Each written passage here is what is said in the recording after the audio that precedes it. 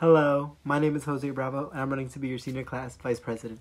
As your vice president, I'm gonna push to make sure that our senior year is the best year ever. With I'm gonna hopefully push for more like fun activities during and after school, and hopefully, fingers crossed, a pep rally. I will. I'm also gonna push to better have communication with staff and students because sometimes we get mixed up with not knowing certain dates about certain things, and that just gets very annoying.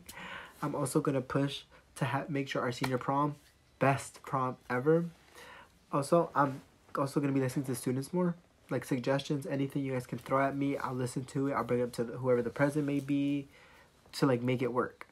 I'm just trying to make sure our senior is the best year ever and spread so many positive vibes throughout. Thank you. Bye.